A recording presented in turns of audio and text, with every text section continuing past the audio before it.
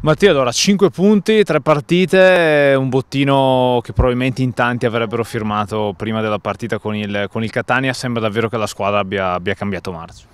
Sì, da tre domeniche a questa parte stiamo facendo le buone gare,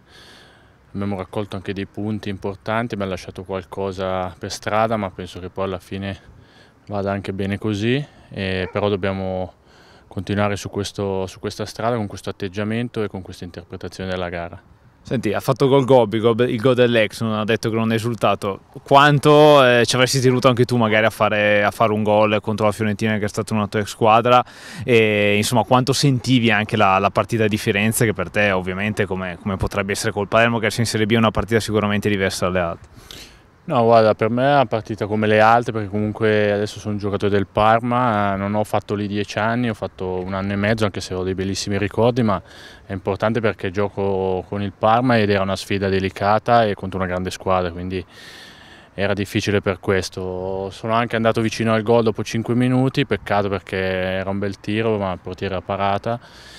E niente, torniamo a casa con la consapevolezza che se questo è l'atteggiamento messo in campo possiamo giocarcela con tutti. Un Mattia Cassani molto protagonista in questo Parma di, di inizio anno, hai giocato tutte le partite titolari a parte quella con l'Atalanta in cui eri squalificato, un nuovo ruolo per te, un ruolo però nel quale eh, stai diventando sempre, sempre, più sicuro, è vero che Lucarelli è primo nella classifica dei recuperi ma le statistiche della Serie A dicono che in realtà lunedì il miglior difensore in, eh, in Fiorentina Parma è stato tu, almeno in quanto recuperi, è un ruolo che inizia a sentirti tuo. Sì, piano piano prendo domestichezza con, eh, con il ruolo, è normale, c'è sempre da migliorare, si può sempre fare meglio, però con l'andare del tempo eh, cresce la convinzione che questo ruolo lo posso fare e,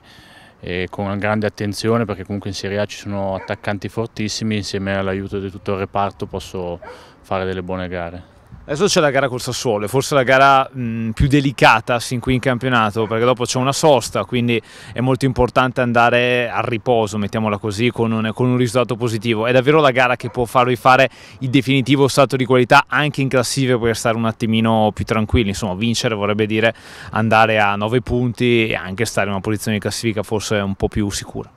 Sì, sicuramente la gara interna col Sassuolo è importante, soprattutto perché dovremo presentarci con lo stesso atteggiamento di queste ultime settimane, allora con, poi con le nostre qualità ci verrà tutto più facile, anche se loro sono una squadra che al di là di qualche top, intoppo iniziale hanno, hanno fatto bene a Napoli, hanno fatto bene in casa con la Lazio, quindi hanno fatto vedere anche qualcosa di interessante, quindi sicuramente dovremo interpretare la gara nel migliore dei modi, col giusto approccio, col giusto atteggiamento e poi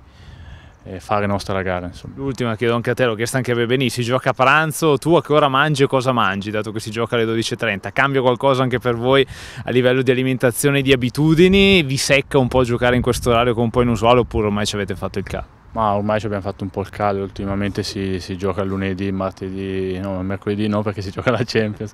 però si gioca ogni giorno, ogni orario, quindi siamo abituati, si mangerà come al solito qualcosa di leggero, la pasta, un po' di bresaola, della crostata e basta. Poi si va al campo sperando di vincere. Ciao ragazzi. Ciao.